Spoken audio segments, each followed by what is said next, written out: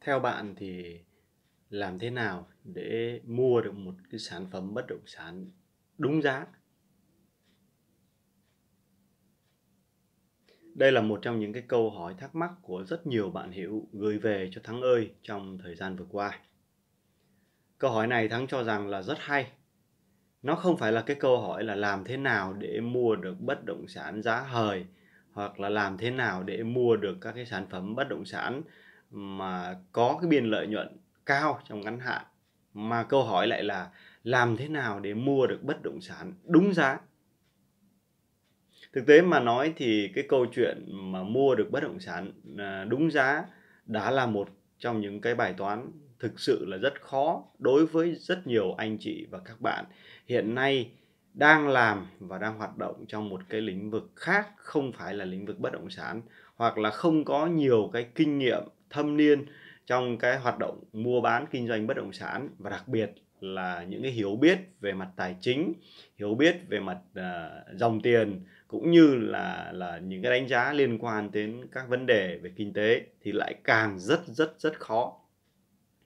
Thì chúng ta chỉ mong rằng là một người ngoài ngành một người không nằm trong không làm trong cái lĩnh vực bất động sản, chỉ mong rằng là chúng ta mua được một cái sản phẩm bất động sản đúng giá và không bị lừa, không bị rủi ro về pháp lý. Và miếng đất của chúng ta là miếng đất sạch hoặc là cái sản phẩm bất động sản của chúng ta là cái sản phẩm mà không gặp bất kỳ một cái bê bối rắc rối nào về mặt pháp lý, cũng như là là là là có nguy cơ bị, gọi là, thua thiệt, mất giá trong thời gian ngắn. Đó đã là thành công lắm rồi để không làm mất thời gian của anh chị thì chúng tôi đi vào cái chủ đề à, ngày hôm nay luôn đó là làm thế nào để mua được sản phẩm bất động sản đúng giá. Trước khi chúng ta nghĩ tới cái câu chuyện là chúng ta ta ta ta định giá được cái sản phẩm bất động sản thì điều đầu tiên khi mua một sản phẩm bất động sản chúng ta phải cần hiểu được rằng là khi mua sản phẩm bất động sản chúng ta phải thực hiện những cái nghĩa vụ nào thì thưa anh chị và các bạn là khi mua bất động sản thì chúng ta thực hiện rất nhiều nghĩa vụ. Trong số những cái nghĩa vụ đó thì có cái nghĩa vụ thuế cho nhà nước. Cả người mua và người bán đều phải thực hiện cái nghĩa vụ gọi là đóng thuế cho nhà nước. Có đóng thuế thì chúng ta mới có thể làm các cái thủ tục liên quan tới sang tên, chuyển nhượng hoặc là những cái thủ tục liên quan đến pháp lý để chuyển cái quyền sở hữu của chúng ta à, của cái người bán sang cho cái người mua và hợp thức hóa cái việc chúng ta thanh toán cái tiền cho cái người bán một cách hợp lý hợp pháp. Và khi mà chúng ta thực hiện các cái nghĩa vụ này thì chúng ta phải biết là chúng ta thực hiện à, với cái giá trị là bao nhiêu để chúng ta tiên lượng trước được cái câu chuyện đó là cái giá trị của cái phần thuế nó chiếm bao nhiêu trong cái tổng cái giá thành cái sản phẩm chúng ta mua bán thì điều đầu tiên là anh chị và các bạn cần phải quan tâm. Thứ nhất đó là chúng ta phải tính giá đất định giá theo cái quy định của nhà nước. Thì tính cái giá đất và cái cái cái cái định giá theo quy định của nhà nước thì chúng ta căn cứ trên cái bảng giá đất của từng địa phương. Trong cái video trước đó à, liền kề cái video này thôi thì anh chị và các bạn đã nghe thắng chia sẻ trao đổi về ba cái loại giá. Đó là khung giá của nhà nước bảng giá của địa từng địa phương và giá giao dịch thực tế. Thì cái giá nằm ở giữa tức là cái bảng giá à, đất của từng địa phương từng cái vị trí cụ thể thì đã được quy định à, rất là rõ ràng có văn bản à, của từng cái thời kỳ 5 năm một lần hoặc là sửa đổi thay đổi trong từng cái giai đoạn cụ thể. Thì nó nằm ở trên các cái cơ quan quản lý đặc biệt là các cái phòng uh, quản lý về đất đai. Chúng ta hoàn toàn có thể lên uh, tại các cái phòng này để tham khảo cái bảng giá đất. Hoặc có thể là dùng các cái biện pháp, cái kỹ năng về cái tìm kiếm, gõ trên Google để tìm cái bảng giá đất quận mấy. Tôi lấy ví dụ như là quận 9 rồi sau đó chúng ta sử dụng cái việc là chúng ta xem trên cái hồ sơ của cái người bán cái sản phẩm bất động sản cho chúng ta, xác định xem cái vị trí thửa đất ờ, của chúng ta là thửa bao nhiêu rồi xác định cái, tên đường, tên phố, tên thôn, tên xóm. Và ở cái vị trí đất của bạn à, ngay trên cái bảng giá đất là cái vị trí nào? Thì là cái cái cái cái quy định theo cái khung giá trên cái bảng giá này như thế nào? Rồi từ đó chúng ta sử dụng các biện pháp ờ, gọi là tính toán nhân với cái, các cái thuế khá là thông dụng mà chúng ta cần phải đóng để chúng ta tính ra được cái giá trị chúng ta cần phải nộp cho nhà nước đây là một cái việc làm khá là giản đơn nhưng ít anh chị và các bạn làm. Bởi vì việc này là việc rất rất là quan trọng và nó là cái câu chuyện không thể à, bỏ qua. Cái việc thứ hai nữa là chúng ta cũng phải sử dụng một số cái giải pháp à, đơn giản để định cái giá nhà. Định cái giá nhà để làm gì? Bởi vì cái giá nhà là một cái tài sản cố định nó dễ định giá hơn nó liên quan tới các cái sản phẩm. Tôi lấy ví dụ như là là một cái nhà thì bây giờ là chi phí xây dựng thô là bao nhiêu, nhà này đã sử dụng bao nhiêu năm rồi, cái khấu hao là còn lại bao nhiêu, hoặc là những cái căn nhà mà nó có tính chất giản đơn hơn thì chúng ta chỉ cần tính trên các cái chi phí cấu thành đến cái nhà đó liên quan tới cái câu chuyện là bây giờ nếu làm mới thì như thế nào, sử dụng lâu năm rồi thì nó sẽ bị chiết khấu trở lại. Thì tổng cái giá trị nhà thì bằng cái giá nhà giá nhà là tính trên cái mét vuông, ví dụ như giả sử như là một cái nhà thông thường thì chúng ta tính lên khoảng tầm uh, mấy triệu trên một mét vuông uh, xây dựng thô đấy. Rồi sau đấy nhân với tổng cái diện tích sử dụng và nhân với cái tỷ lệ chất lượng nhà tức là chúng ta chiết khấu lại cái phần mà mà nhà này đã sử dụng bao nhiêu lâu rồi thì chúng ta sẽ nhân với tỷ lệ chất lượng của nhà còn lại ờ, sau khi đã trừ đi khấu hao. Thì chúng ta ra được cái giá nhà. Thì từ cái chỗ mà à, cái biết được cái giá nhà cái này là cái chuyện mà nếu mà tài sản gắn liền trên đất là chúng ta buộc phải đánh giá để chúng ta sau này đến cái bước tiếp theo là chúng ta sẽ đánh giá đến những cái vấn đề liên quan đến định giá cái sản phẩm thì à, hai cái việc này là hai việc rất quan trọng. Một việc thứ ba nữa là khi mà chúng ta làm thủ tục á thì nếu như chúng ta thực sự không không không có lòng tin với nhau thì chúng ta nên lưu tâm đến một cái câu chuyện rất quan trọng. Đó chính là anh chị và các bạn cần phải có một cái bên thứ ba đứng ra làm cái đơn vị gọi là trung gian. Nếu là ngân hàng thì càng tốt họ đứng ra làm đơn vị trung gian họ sẽ à, là một trong những cái đơn vị mà gọi là thu tiền của của cái thương vụ là giữ cái tiền của thương vụ lại. Sau đó thì khi nào mà cái số nhà đất được sang tên cho anh chị và các bạn à, từ người bán sang người mua thì tiền sẽ được à, cái đơn vị trung gian này giải ngân. Đó là cách tốt nhất để tránh cái trường hợp là bị rủi ro trong cái câu chuyện là lừa đảo hoặc là trong cái, những cái câu chuyện tức là người mua nhưng mà không có đủ cái chi phí không có đủ cái cái cái cái cái tiền bạc để mua nhưng mà vẫn quyết định mua thì nó sẽ dẫn đến những cái vấn đề rắc rối sau này khi mà trong quá trình thanh toán. Hoặc là người bán thì à, nhận được tiền rồi nhưng mà lại không chịu sang tên cho người mua thì nó cũng rất nhiều những cái rắc rối liên quan tới tới cái câu chuyện là rủi ro cho cái người mua. Thì đó là câu chuyện chúng ta cũng cần phải có một đơn vị là là trung gian bên cạnh đó nữa thì à, khi mà chúng ta mua bán thì lưu tâm rằng là ra phòng công chứng chúng ta lăn tay công chứng thì đồng nghĩa với câu chuyện là cái sản phẩm bất động sản này thì à, đã được gọi là là là chuyển quyền sở, sở gọi là sở hữu uh, sử dụng từ người người bán sang người mua tuy vậy thì nó còn một bước nữa, đó là bước chúng tôi vừa nói, đó là phải phải ra sổ tức là phải ra cái cái cái cái phòng nhà đất để làm cái thủ tục chuyển nhượng cái tên. Thì trong quá trình làm chuyển nhượng thì họ sẽ xác minh lại là nhà có tranh chấp hay không sản phẩm bất động sản có vấn đề gì hay không thì họ mới sang tên. Thì đó cũng còn những rủi ro. Thì thông thường có nhiều người thì tin nhau thì vẫn giao tiền tại cái chỗ chỗ chỗ công chứng. Sau đó thì thì giữ lại một phần để chờ ra số. Nhưng cách này thì là cái cách thông thường mà trong quá trình giao dịch họ vẫn làm. Tuy vậy thì nếu như hai người không quen nhau và không tin nhau người mua và người bán thì vẫn nên có một đơn vị thứ ba làm đơn vị trung gian để giữ cái phần tiền và đứng ra làm vai trò gọi là đi làm thủ tục cho anh chị và các bạn luôn. Thì họ sẽ lấy một cái mức phí à, cộng với, với cái phí tại cái phòng công chứng nữa. Thì chúng ta có một cái khoản phí thứ hai đó là các cái khoản phí liên quan tới tới phí giao dịch. Các cái phí giao dịch này thì nó cũng không nhiều, nhưng mà nó cũng là một trong những chi phí nằm trong cái quá trình định giá của chúng ta. Và hơn nữa thì trong, ở đây, trong cái quá trình mua bán thì rất nhiều rất nhiều khi anh chị và các bạn sử dụng tới một cái đơn vị trung gian. Đó là môi giới, và chúng ta phải trả một cái chi phí môi giới nào đó thì cũng tính trong cái giá trị của thương vụ để chúng ta định giá rồi sau khi những cái thủ tục giản đơn nhất về cái câu chuyện định giá bình thường uh, ai cũng có thể làm được và nó là cái thông dụng thì chúng ta bắt đầu đi đến một cái cái một số cái giải pháp về cái phương pháp và cách thẩm định giá bất động sản. Thì hiện nay trên thị trường thì có khoảng 7 đến 10 cái phương pháp để định giá bất động sản. Nhưng mà về cơ bản thì chúng tôi sẽ chia sẻ nhanh với anh chị và các bạn từng phương pháp một thôi nhưng sau đó chúng tôi sẽ chia sẻ cái góc nhìn cá nhân của chúng tôi về các cái phương pháp định giá này và những cái ưu nhược điểm như thế nào để anh chị và các bạn dễ định lượng hơn và chúng ta nên tập trung vào cái phương pháp nào để chúng ta làm tốt cái câu chuyện là mua đúng giá và đúng sản phẩm và gần như là không có rủi ro.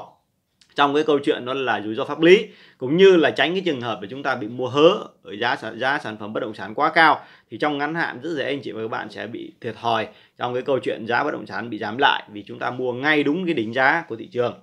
cái phương pháp thứ nhất chúng tôi chia sẻ với anh chị và các bạn mà trong đó trong những cái video trong cái 66 gần 70 video về bất động sản ấy, trong cái bất động sản chúng tôi sẽ để lại góc đây là cái cái, cái, cái tròn này, này nó có những cái loạt những video liên quan đến bất động sản anh chị và các bạn có thể xem ở góc phải màn hình. Thì chúng tôi đã từng chia sẻ rồi nhưng mà hôm nay chúng tôi chia sẻ lại nhanh và muốn xem kỹ hơn thì anh chị và các bạn có thể xem kỹ ở cái góc đó.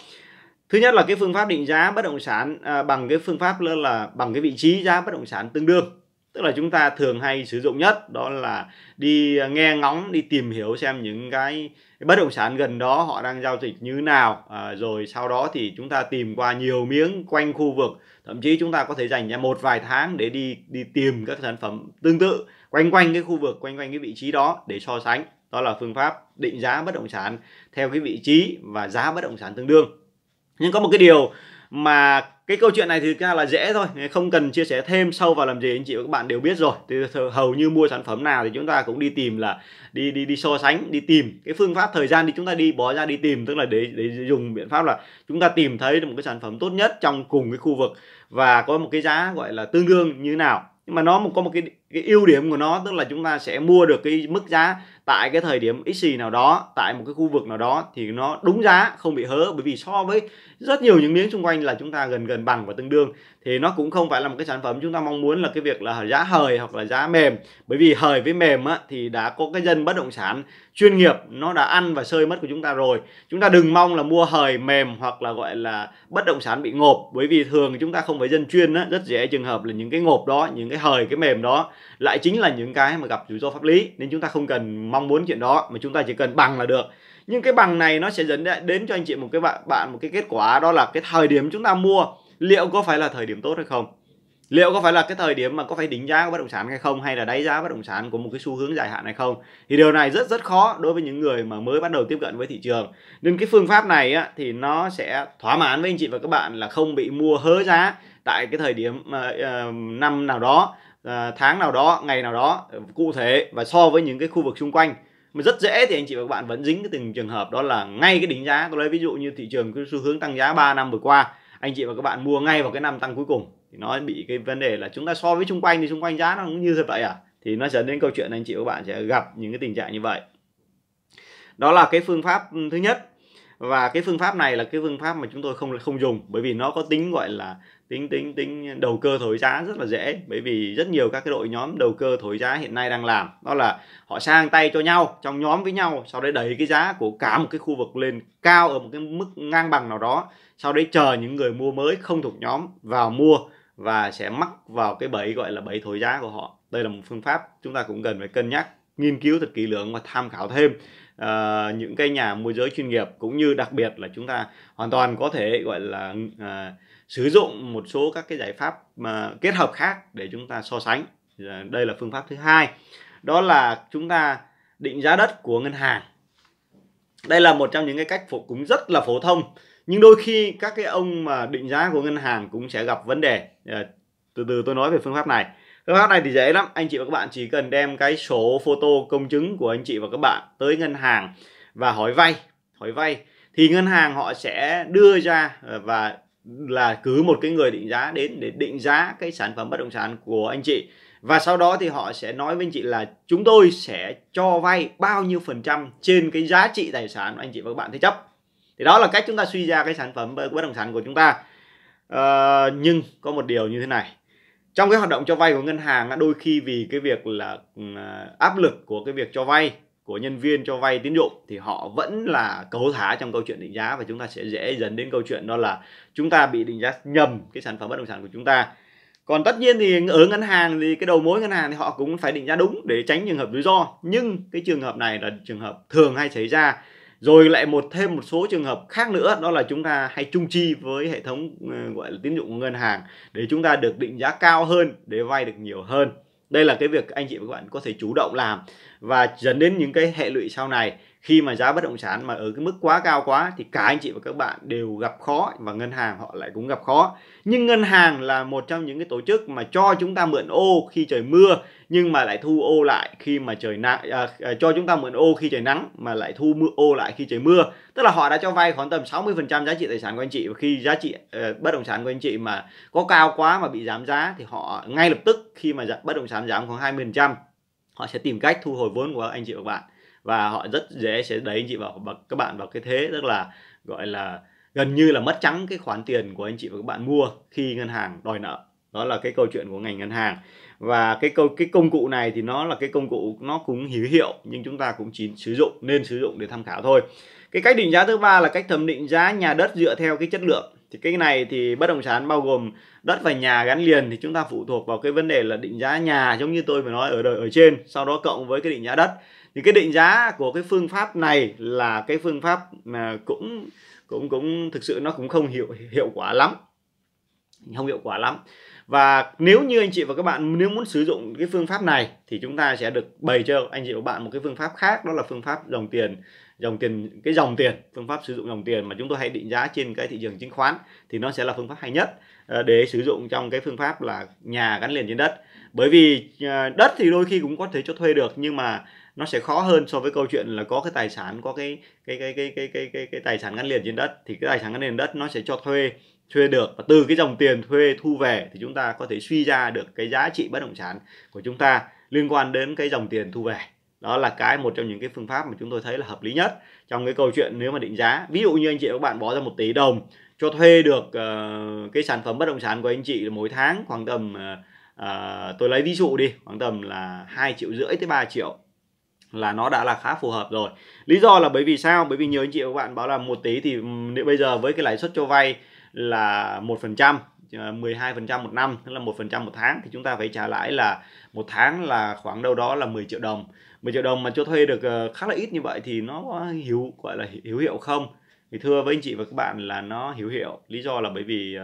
uh, chúng ta cũng uh, thực tế mà nói thì chúng ta ừ, ừ, hiện nay trên thị trường bất động sản thì nó cũng chỉ đạt được cái suất sinh lợi là cơ bản nằm ở cái khoảng đâu đó 5% 5% trên giá trị tài sản của chúng ta. 5% trên giá trị tài sản là chúng ta là khá là phù hợp rồi bởi vì với việc 5% trên giá trị tài sản thì chúng ta có một nửa số tiền trong đó và một nửa vay thì chúng ta tính ra là trên cái cái cái việc mà à, trên cái giá trị vốn của chúng ta là cũng đã được 10% rồi thì cũng là khá là tốt rồi.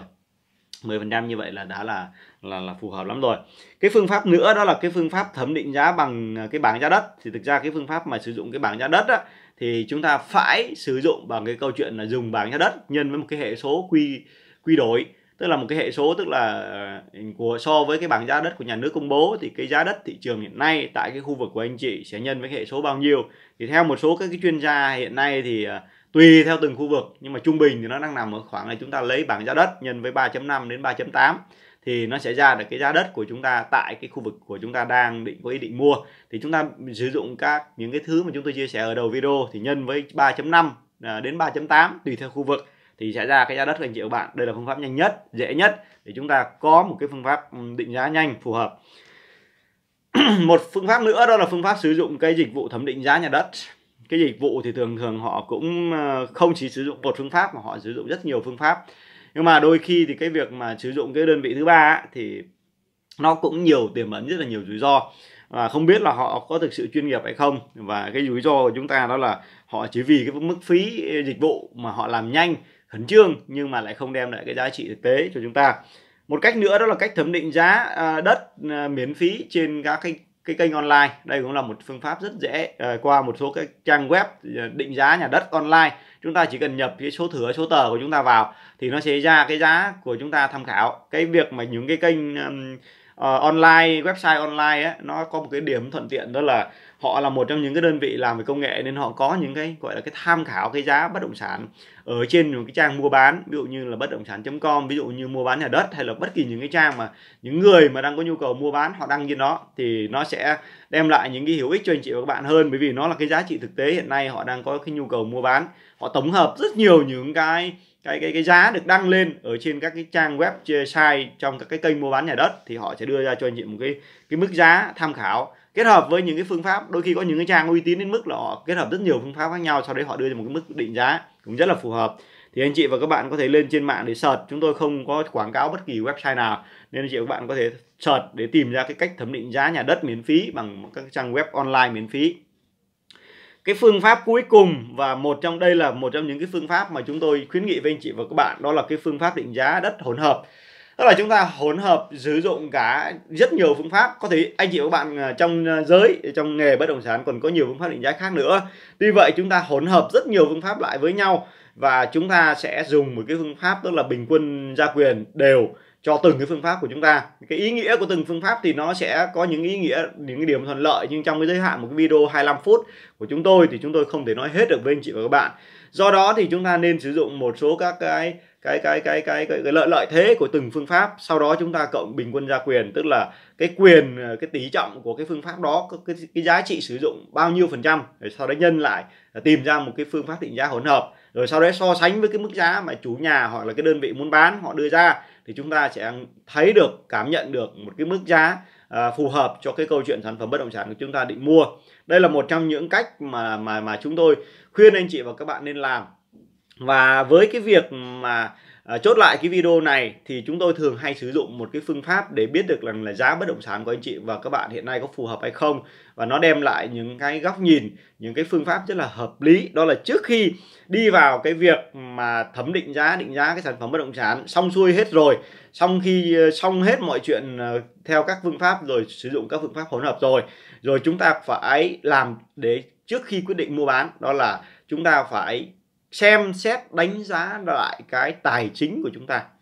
Để xem xét đánh giá lại cái tài chính của chúng ta. Tại sao chúng tôi lại khuyến nghị anh chị và các bạn là xem xét đánh giá lại cái tài chính của mình? Là bởi vì khi chúng ta xem xét một cách đầy đủ cái tài chính của mình rồi, thì chúng ta sẽ mới đưa ra được một cái quyết định phù hợp nhất. Lý do là bởi vì khi chúng ta, gọi là, đánh giá trên cái tài chính cụ thể của cá nhân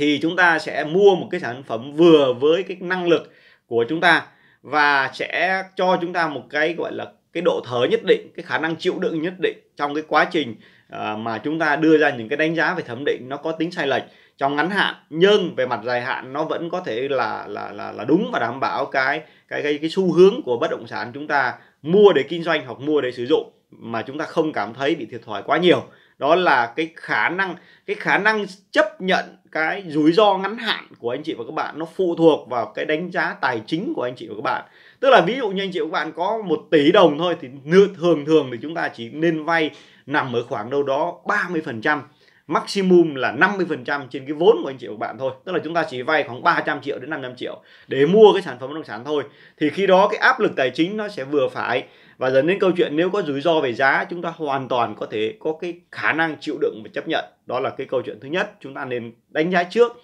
Thứ hai nữa là chúng ta cũng nên đánh giá cái khoản vay của chúng ta trong cái giai đoạn gọi là à, đầu tiên khi giải ngân thì mức chịu lãi là bao nhiêu và tương lai chúng ta phải chịu lãi là bao nhiêu. Và có thể được thì hãy so sánh với một chút với cái xu hướng lãi suất trong gọi là chung và dài hạn của thị trường để chúng ta tránh những trường hợp là lãi suất tăng quá cao dẫn đến câu chuyện là cái tài chính của chúng ta bị áp lực dần do cái việc là chúng ta vay nợ thì nó sẽ dẫn đến câu chuyện chúng ta sẽ phải bán ra sản phẩm bất động sản chúng ta mà